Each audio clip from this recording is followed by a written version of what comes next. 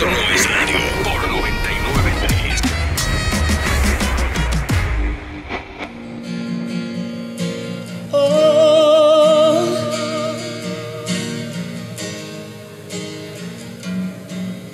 Eh, Mirar arriba para muchos es difícil.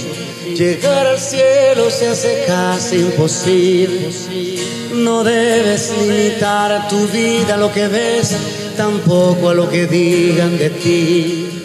Llegarás a donde quieras ir. Tu destino te espera de frente. Las alturas fueron hechas para ti. Solo tienes que creer que nada podrá detenerte y nadie podrá Tienes alas y no puedes quedarte ahí. Tienes que volar que nadie podrá sustituirte ni robar lo que Dios te ha destinado. Tienes alas y no puedes quedarte ahí. Puedes alcanzar el cielo. Oh,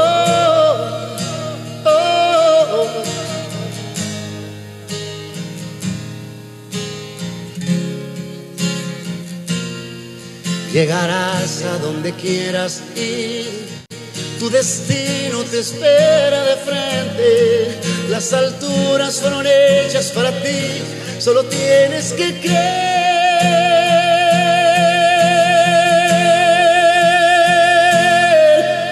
que nada podrá detenerte. Nadie podrá limitarte. Tienes alas y no puedes quedarte ahí. Tienes que volar que nadie podrá sustituirte ni robar lo que Dios te ha destinado.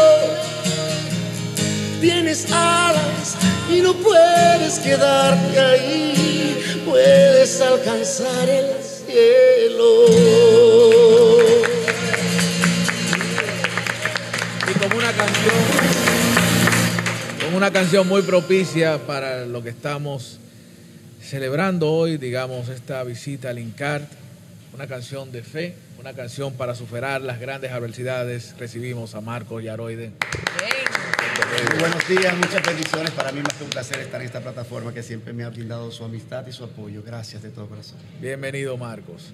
Nosotros contentos de que estés aquí. Me encantó que abrieras con esa canción. Yo me encantaría preguntarte, propio de la visita que estamos haciendo, porque tú no solo eres cantante, tú eres pastor, tú diriges una comunidad bien grande y me imagino que estos casos de cáncer se dan Sí, bastante. bastante. Y mucha gente que, que tiene, que pasa por este tipo de situaciones, Dios la toma esa situación para traerlos hacia ellos. ¿Cómo han sido las experiencias de enfermos de cáncer en, en- en tu comunidad?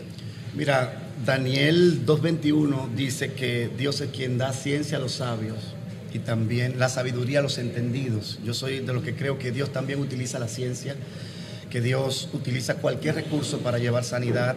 Creo en los médicos, creo que Dios ha depositado en ellos eso y qué increíble que en manos de hombres muchas veces esté la salud de alguien. Creo también en los milagros, Dios lo hace.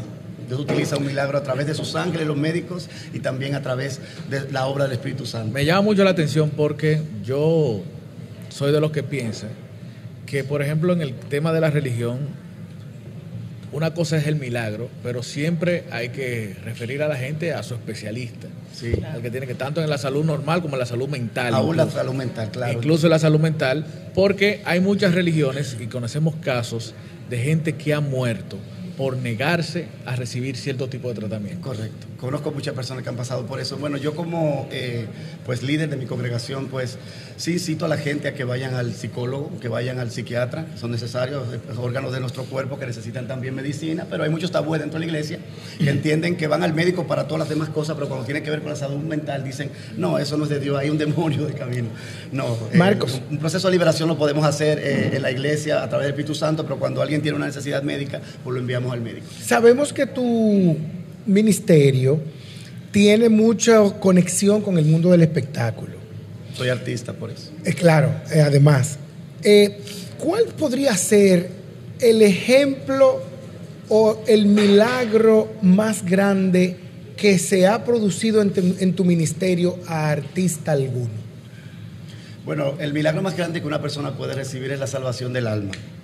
Cuando alguien es sano por dentro, pues se sana una familia, se sanan los hijos, se sana el entorno o donde esa persona se maneje. Yo creo que el milagro mayor no es que una persona sea sanada de cáncer o de VIH o de lo que sea, que tenemos testimonios de sobra dentro de la iglesia, pero De cuando famosos, de famosos. Pero, por ejemplo, en el caso de los famosos, reconstruir un matrimonio. por De ejemplo. famosos. Para mí ese es uno de los mayores milagros y más en este tiempo que donde están los principios y los valores están por el piso. ¿Cuáles, por ejemplo, podemos citar? No, eh, pero mencionar los famosos. No, no, eso No, por pero, ejemplo- pero- pero de esas dos enfermedades que tú dijiste, que tú dijiste que, han- han- que se han conseguido curas dentro de tu ministerio con famosos.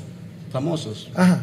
Eh, Tú mencionaste VIH y cáncer. Sí, no. No, con famosos no, No, pero, con famosos por ejemplo, el otro, Pero con muchas personas Pero sí. milagros morales sí. Por ejemplo, como Claro eso, que eso sí. de reconstruir matrimonio de gente que estaba separada. Tenemos personas que aún estaban en el mundo de, de los colores, Sí. que realmente han cambiado de parecer y hoy tienen su familia restaurada. Creo que eso es un milagro ¿Qué? muy grande también. Sí, eso es un milagro muy grande. O sea, de miembros de la comunidad LGBT que han llegado a tu Claro que iglesia. sí.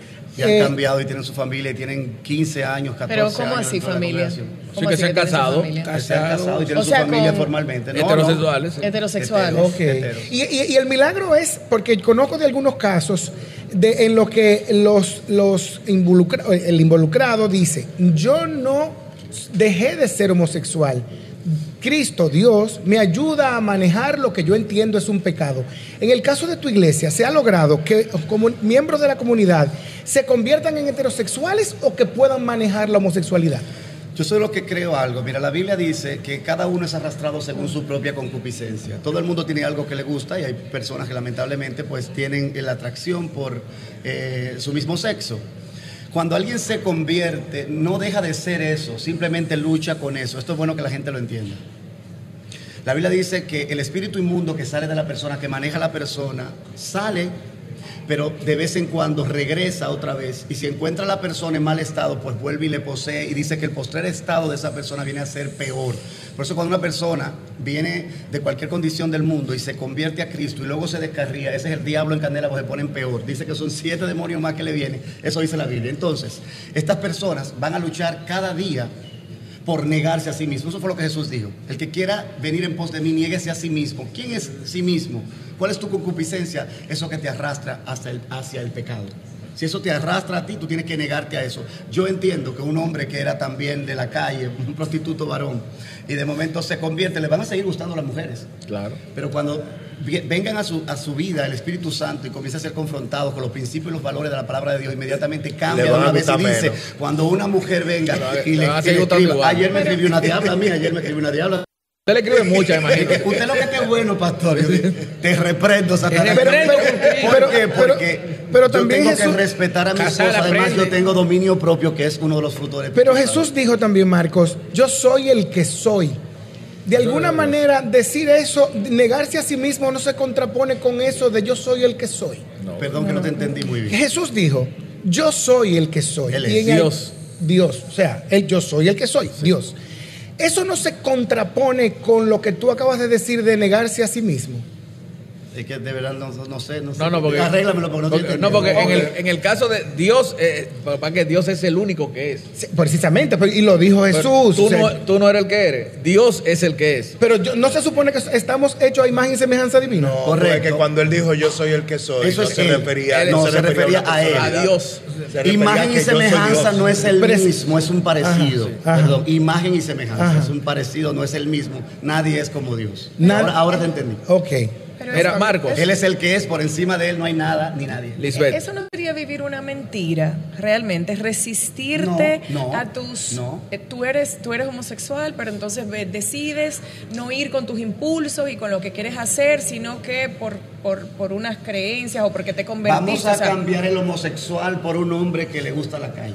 Vamos Sí. a cambiar, vamos a cambiar la imagen para que se vea. No, no es, es diferente, Es, es diferente, totalmente No, no, no, no, no, diferente. no, Es diferente totalmente. Ay, sí, ¿Cómo cambiamos totalmente un diferente. ladrón entonces? Ay, no, Es diferente. Concupiscencia, eso es lo que le va a arrastrar a él, Es- eso es lo que Es le va a es que es diferente también. Es que yo puedo, yo, yo siendo homosexual como soy, soy un hombre honesto, yo siendo homosexual como soy, puedo ser fiel a mi soy fiel y puedo ser fiel a mi pareja. Bueno. Yo lo que pasa es que es en ese tipo de prejuicios que involucra y que No, yo incluye no tengo prejuicio, gracias a es, Dios. es un prejuicio. El hecho de fíjate cómo tú mezclas a una condición Ay, pero si me sexual. hubieran dicho que era para esto, me hubiera quedado en mi casa. ¿Fuiste tú que pusiste el tema? Déjame decirte algo. ¿Fuiste tú que pusiste el No, tema? no, Sí, lo pero está pusiste tú, Juan Carlos. No, no, no no ¿Eh? no. No, No, No, yo no. Él fue que habló de homosexuales. Yo no hablé de homosexuales. Bueno, Sí, tú fue- sabes que, tú sabes que Marcos, estamos Yo no he aquí. ofendido a ningún homosexual estamos- ni nada. Te- Eso lo sabemos, puso el Marco, no te ¿Qué preocupes. Eso lo sabemos, no te preocupes. Vamos a dejar el Marco, tema ya Tú sabes que eh, Necesito estamos, en estamos precisamente en el INCAR y a mí me gustaría saber, eh, eh, cuando una persona llega a, la- a- a un ministerio, ¿cuál debe ser, desde tu punto de vista, la labor de un pastor eh, cuando reciben una, una- un diagnóstico de cáncer y entienden que con el simple hecho de ir a la iglesia, están haciendo lo que deben hacer para curar. Todo va a depender del nivel de la fe de la persona. Hay personas que dicen, yo creo que el Señor me va a sanar. Nosotros tenemos testimonio de sobra de eso, de que Dios sana. Ahora, si la persona decide ir a- al médico también, creemos que Dios utiliza a los médicos. La Biblia dice claramente que Dios envía a sus ángeles acerca de nosotros para que nuestros pies no tropiecen en piedra. Yo nunca he visto un ángel con alas llevándole a una persona comida a un lugar, ni haciéndole tampoco una operación a alguien. Yo entiendo que los ángeles que Dios utiliza son personas, recursos que Dios utiliza para bendecir a esa gente. Dios puede utilizar a un médico para sanar a la persona, como puede también hacer el milagro, como yo estoy cansado de ver. Ángel significa enviado. mensajero. Claro, enviado mensajero. Y puede ser una persona. En una ocasión, el profeta Elías, todo el que ha leído la Biblia entiende, dice que fue alimentado por qué? Por cuervos. Que Dios tenía que hablarle a un profeta Balaán y no había nadie que le hablara. ¿A quién utilizó Dios? A una mula. O sea, Dios usa el recurso que él quiera. Marco, tengo eh, dos preguntas. Eh, Bájale algo, por favor, sí, oíste, no, que ya me dieron duro. No, tú eres mío, tú eres mío. Gracias. Mira, eh, los ministerios, el ministerio eh, tuyo, ¿cómo, cómo van las visitas? Yo decía que me hace falta a mí los cultos bíblicos. En cada barrio, hay que decirlo, hay varios puntos de estupefaciente. Me gustaría que en cada barrio vayan los diferentes cultos como se veía en los tiempos de antes, que veo mucho más en las redes, pero no veo en los barrios. Tu ministerio, eh, ¿cómo van la visita a los hospitales? ¿Se hacen cultos eh, en los barrios? Y eh, lo digo porque ahora, no tu ministerio, hay cristianos, yo soy profesor, como dije, y una compañera invitó a la otra y dice, ven para que vaya a mi culto el domingo. Y dice la otra, hay aire. Yo dije, ojalá que haya un aire, que cuando esté predicando la palabra le caiga en la cabeza, tome el aire. ¿Cómo que si hay aire? un Vaya. tiro, dime. Pero, pero- pero claro, pastor, ¿cómo va eso? Y la segunda, tiene el derecho. Hay una pastora que se llama la pastora Wendy. Yo Así quisiera saber Wendy. si usted tiene alguna opinión sobre la forma de expresar y de predicar la palabra, sobre algo como, eh, algo semejante, ame como el perro bebe agua, que no lo voy a decir, pero ella está expresando esa clase de, evangelio. Mira, yo no creo en la perfección del ser humano, creo que cada uno de nosotros tenemos fallas, tenemos faltas. Si nosotros nos llevamos de que una persona haya fallado o haya pecado, como nosotros lo llamamos dentro de la congregación, vamos a retirar a todo el mundo de dentro de la iglesia. Por ejemplo, a ella que tuvo ese caso, que entiendo que no estuvo bien, la forma en que se expresó. Eh, no debieron de votarla de su iglesia. ¿Qué hemos hecho nosotros como iglesia? Simplemente, si, si nosotros procesamos el amor y amamos al prójimo como, nuestro, como a nosotros mismos, pues tuvimos que recibirla. ¿Cómo se le recibió? Se le recibió con amor. Ella fue que se dirigió a la iglesia de ustedes. Claro. Ella fue a nuestra iglesia, alguien nos dijo, mira, eh, ella quiere ir a la iglesia de ustedes, le ha llamado la atención. Cuando la vimos allá, yo me sorprendí, pues la, la llamé, la saludé públicamente, la gente la, la- la quiso mucho porque también es bien conocida en las redes sociales. Pero ella se está congregando con ustedes ahora mismo. se está colgando con Es decir, nosotros. ella dejó de vestirse como Rabacú. Todavía, Para- todavía para allá iba, pero- para allá iba, pero para allá podemos iba. hacerlo. En cuanto a la otra pregunta, pues nosotros como ministerio, yo tengo 25 años de trayectoria ministerial, como pastor tengo 15 años. Sí. Y ustedes han visto parte de lo que nosotros hemos subido, hemos ido a barrios a construir eh, casas, hemos construido en, en el barrio de, de Guaricano siete casas totalmente amuebladas, eso lo hicimos con los recursos de nuestro ministerio. Yo creo que eso es una obra, aparte de que yo como artista cristiano cuando comencé junto a Tercer Cielo, Lily Goodman, todos los que subieron esa generación redimido, pues visitábamos todos los días, casi todos los días, barrios y lugares así. Estamos preparando un camión musical también para ir a los barrios, pedir un permiso bien. y también Me llevar la gusta palabra de eso. Dios. Excelente. Bueno, acabo de hacer un convenio ahora mismo porque conocí al director, que es una persona maravillosa de aquí, de este centro, y a, y a el la, y a directora también, y ya vamos a traerle conciertos acá a las personas. Ay, por Antes de la próxima pregunta, vamos con otra canción, maestro. Excelente. De eso se trata la obra. Vamos con otra canción, pastor. Yo creo que todos ustedes la conocen. Mi despertar y mi atardecer, todo se lo debo a Él.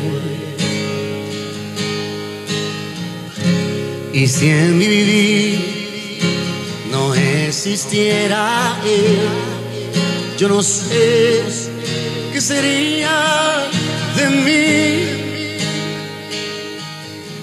porque todo se lo debo a Él. Cante conmigo. Todo se lo debo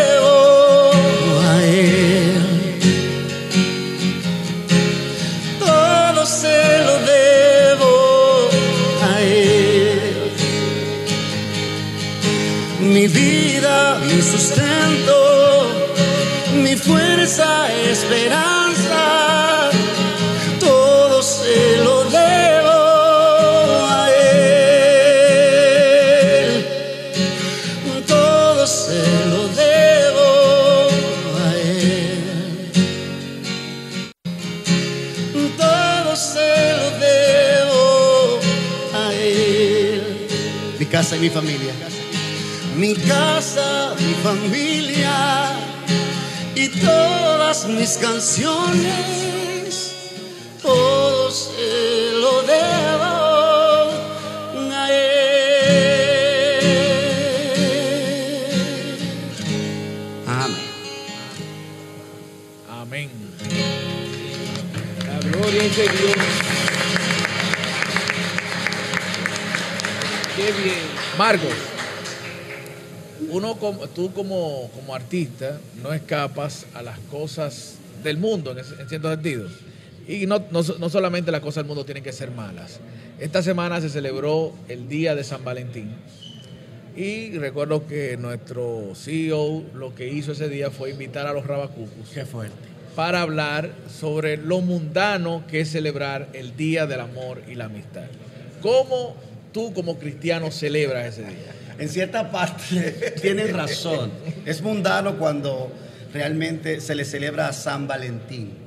San Valentín no está registrado en la Biblia como el santo del amor. Lo siento por lo que le gustan su corazón y sus cosas. Como cristiano no pretendo venir aquí a defender el Evangelio, ni mucho menos a defender a Dios.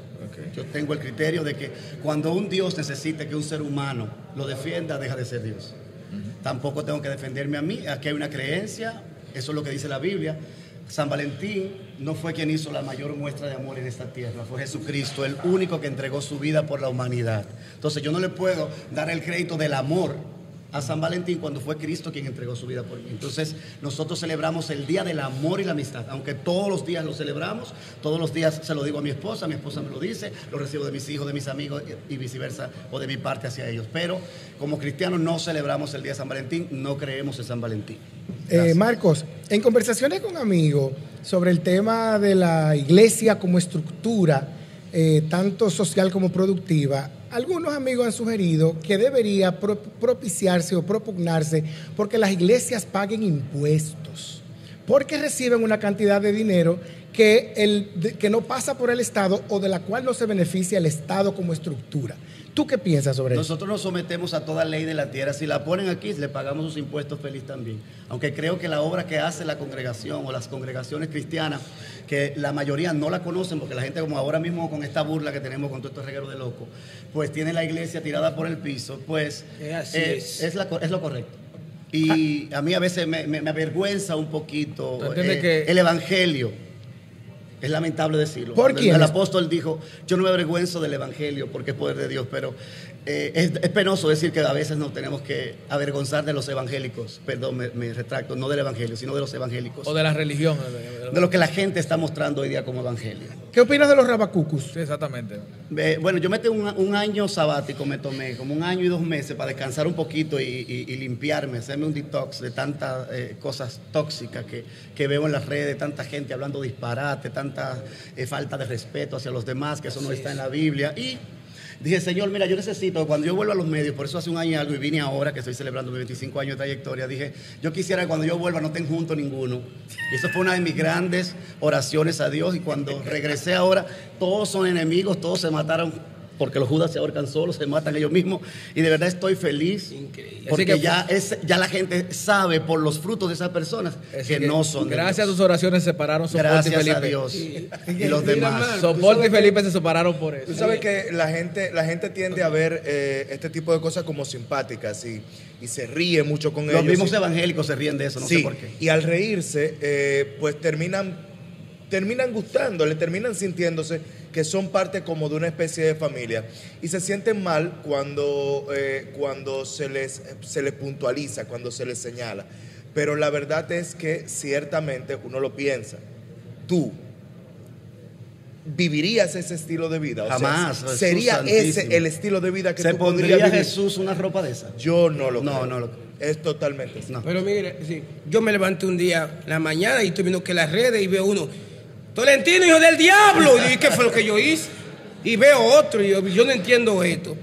Marcos, 25 años, ¿cómo ha vivido momentos difíciles? Porque Ariel me corrigió algo cuando yo vi el anuncio de Jesús Adriano Romero, que salía por depresión, que retiraba algunos conciertos. Ariel me dijo, Ramón, él es cristiano, pero no es, ¿cómo fue que tú me dijiste, Ariel? Pero humano. Pero es humano, pero es es humano. humano. ¿Cómo tú, en altas y bajas, cómo has podido superar? Y tentaciones también, 25 años de trayectoria, no, no es fácil, más en los caminos del Señor. El diablo juega sucio. Si tú eres alcohólico y te entra, eh, eh, Dios te llama. El que te negaba una botella de alcohol te llama ahora a la fiesta. El colmado te comienza a fiar el ron que no te daba antes. Y por eso te pregunto, ¿cómo su- superar cada una de esas cosas que en más de 25 años yo sé que te han tocado? Lo más importante para un creyente es poner los ojos en Jesús. Eso es lo primero. Eh, los ministros dentro de la iglesia creen, hermano, las cosas por las cuales nosotros más luchamos. Eh, enfrentar por lo, mayor que, te, que pelea la religiosidad dentro de la iglesia y ustedes lo conocen. ¿Por qué? Porque pero fíjate, estoy siendo de una red social, con internet. ¿Quién quiere engañar? Se ponen un trapo viejo que ellos le parecen que eso es de Dios y ya con eso salen a hacerle teatro a la gente. Entonces, la gente no hoy día no quiere ver la buena obra, la gente no quiere ver una buena familia estable, la gente no quiere ver un, mi- un ministerio crecer ni ser próspero. A nosotros nos critican por tener una iglesia grande, pero ¿cuántos años tuvimos que pasar para tener esa iglesia grande? 15 años. No, Y trabajando. y que debería Y no tenemos recursos del, del gobierno, no nos mandaron un peso del gobierno. Yo nunca he tenido una botella, gracias a Dios. Entonces, ha sido sudado nuestro ministerio. La gente no ve la obra que se hace dentro de la iglesia. Si usted va a entrevistar a todos los hermanos, le van a decir, en cierta ocasión yo tuve a mi hija enferma, no tenía un seguro médico, y esa iglesia fue me atendió. Que hemos tenido que ir a dar un millón y medio para sacar un cadáver de una clínica porque no dejan salir a- a- al- al- a- al cadáver porque eh, no tienen el dinero. Y eso es la iglesia que lo hace. Entonces son cosas que no lo vamos a publicar. ¿Cómo, cómo haríamos para decirle a una gente? No, tuvimos que pagar el dinero para que sacaran el cadáver de allí. ¿Entiendes? Marcos. Simplemente cuando hacemos obras bonitas en la calle y cosas así, uno las sube. ¿Por qué? Porque hay personas que dieron ofrendas o dieron eh, eh, eh, eh, dinero para apoyar esa obra y tienen que ver que estamos Y no haciendo. haría falta, Marco, por ejemplo, alguien de- dentro de- del ministerio tuyo que de- lleve un mensaje en las redes que eduque en ese sentido, por ejemplo, con el tema de la ropa, de que tú tienes Yo lo hago, mucha gente, la gente no entra en eso. Mucha gente, no, tú tienes, tú- Mira, me ven así. Él Una- cosa- la ropa una- del mundo. una cosa es que ¿De tú- dónde viene la ropa? Una cosa es que tú publiques una foto tuya y otra cosa es alguien que les dé una prédica sobre al respecto. Bueno, que es lo que ellos hacen. Yo soy el primero que le doy la prédica y se lo doy a entender. Que la palabra dice, ¿qué le dijo? Tú lo sabes. ¿Qué le dijo el, eh, Dios al profeta Samuel cuando fue a ungir a David? Yo no soy No te como fijes la apariencia, si no te fijes la apariencia. Porque yo miro el corazón. Claro. Entonces la gente dice, lo que está dentro se refleja fuera. Claro. Toda esa amargura, todo ese odio que la gente desborda, eso, eso también es lo que tiene dentro. Quería saber, Marcos, que tú ta- estabas hablando de todos los casos que ustedes manejan y todas las cosas que han podido resolver, que está súper lindo, pero ¿cómo ustedes canalizan, cómo ustedes deciden, me voy a ir con este caso, con aquel, en, en un país donde pasan tantas cosas, con tantas escaseces y con tantas situaciones negativas? ¿Cómo ustedes dicen, bueno, le vamos a dar prioridad a este Sí. o a este? Bueno, eh, nosotros tenemos que medir la tierra primero también. Eh, vi una joven una vez en, las redes sociales que ya se había ayudado varias veces, incluso en mi iglesia se había ayudado, la persona seguía con una condición de droga y vi que a una figura artística le dio también eh, eh, unos beneficios para que no se lleven quién es. Le dio unos beneficios y decía, wow, mira, esa persona se ayudó acá en la iglesia, desbarató en vicios todo lo que se le dio y luego andaba pasando trabajo con su familia.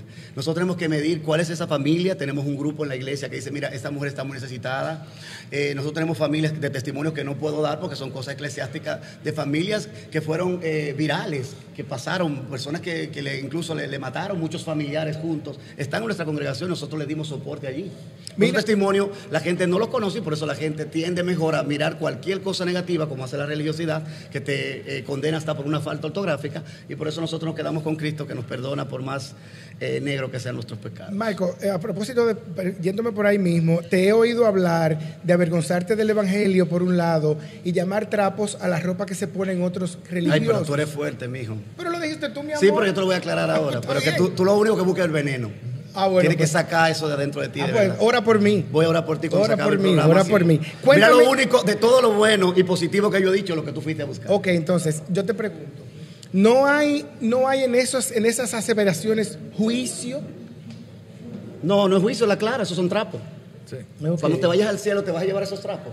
La Biblia dice, porque tú lo sabes, todo lo que está debajo del sol es vanidad. Sí. No es la ropa de Yaroide, es todo. El Mercedes-Benz se va a quedar como el motor, el trapo como el, el Gucci, todo se va a quedar aquí. Marco. Lo único que es eterno es el alma, que tú tienes que desde acá buscarle un lugar, o la manda para el infierno o la manda para el cielo porque no hay purgatorio. Me encantó lo que dijiste ahorita sobre que tienes 25 años ya de Y carrera. te voy a decir algo, perdóname de los 25 años, mire. Ya deja la, la cosita esa, la tiranía y eso, porque yo le he repartido la razón a todo el mundo. Yo necesito paz en mi vida. Yo tengo, voy a cumplir casi 50 años. Yo tengo cuatro hijos maravillosos, una esposa que me ama. Yo soy feliz. Yo tengo eh, ambiente, armonía en mi casa. Y salir a discutir con ateos y con gente que tenga su nosotros, concepto. tranquilo, Yo no tengo problema con Tranquilo. eso. Así Marco, que, ¿cómo vamos a celebrar estos 25 Bueno, años? Cantando. Primero de marzo en el auditorio Cielos Abiertos estaré allí con todos mis músicos cantando desde mis primeras canciones cuando comencé en Tercer Cielo hasta las más recientes. Tendremos invitados especiales. Hay invitados especiales, sorpresas. Sorpresa. Hay sorpresa. No se pueden Ay, anunciar. ay, ay. Pero qué bueno. Así que las Eh, plataformas digitales pueden encontrar toda la información de nuestro concierto y también eh, de la boletería. La última vez que estuviste por aquí, estuviste presentando un álbum que recogía muchas canciones que todos conocemos de otros eh, intérpretes cristianos. Se llama Tributo, fue un tributo que hice a esas grandes canciones a los ministros también y hasta a los arreglistas que hicieron ese disco. No habrá una segunda parte. Podría ser. Pero ahora ya después de este disco estaré lanzando un disco de todas las canciones que había hecho, las que las personas más eh, acogieron, y luego haré un disco inédito ya, Ah, va a ser un disco de grandes éxitos. grandes éxitos, De grandes. que va a salir de hecho el día primero junto con el concierto. Ah, Ah, muy bien. Eh, eh, qué bueno, eh, Marcos, que habrá sorpresa y nada, decirte de mi parte, tú sabes que el equipo de esto no es radio, somos, somos una familia. El compañero Juan Carlos es también un gran ser humano y este, este, este conversatorio es un desliz que pasa, pero sabes que te respetamos, No, te no, admiramos eres y, nuestro. Gracias. y eres nuestro desde hace tiempo. Así que aquí lo que estamos es para traer paz. Hay personas que ahora están postradas en una cama que están escuchando el mensaje. Y qué bueno que escuchar el mensaje a través de No, la canción. y, y no- y yo parto del principio periodístico que dice que no es para preguntas indiscretas, que usted contesta si quiere. Marcos, Y lo respeto eso. yo quiero, antes de cerrar con la última canción, que hagamos una oración por todas Sí. las personas que están en este recinto y todas las personas que padecen. Sí, de hay un par de pichones que tienen que salir de aquí. No, no, y, Sí. pa- y las personas que padecen de esta, de esta terrible enfermedad. Oremos. Señor, te damos gracias, te bendecimos. Gracias por la plataforma que has preparado en este día, que se ha constituido casa de Dios y puerta del cielo. Todo lo que no sea tuyo, Señor, llévatelo, incluyendo la enfermedad. Trae fe sobre aquellos que no tienen. Trae tu palabra, tu bendición, tu palabra que es la que nos revela la verdad. Conocerán la verdad y la verdad les hará libre. Juan 8:32. Señor, establezco tu presencia en este lugar sé que hay mucha gente viéndonos con necesidad. Gente que la fe le ha desmayado. Te pido que inyectes fe, que crean en ti, que tú vas a hacer el milagro cuando nosotros depositamos nuestra confianza en ti. Eso es lo que hemos visto en estos 25 años de trayectoria. Que tu misericordia, tu favor, tu gracia sea sobre nuestro país. Ahora en las elecciones también, Señor, manifiéstate. Envíanos por favor personas que se compadezcan del pobre, que amen a la gente de verdad, que se establezcan personas que puedan reinar contigo en la cabeza. Tu reino está en este lugar, Señor, en el nombre de Jesús. Amén y amén. Amén.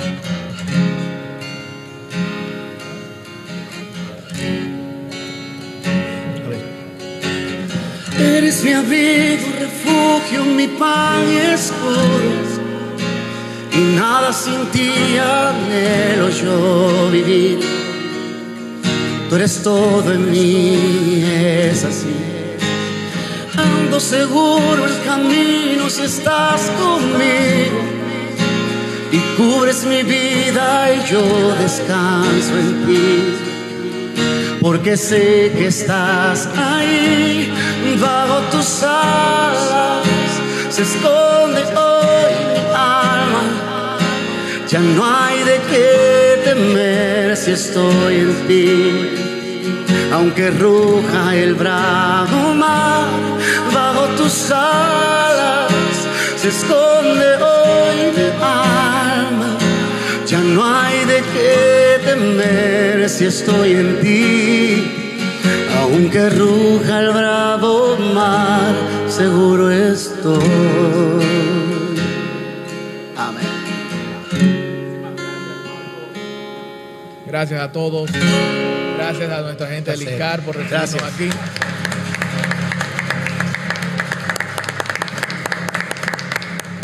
Ha sido una hermosa transmisión. Nosotros regresamos el lunes. Cuando el reloj marque Las siete. en otra entrega más de esto, no es radio. Radio.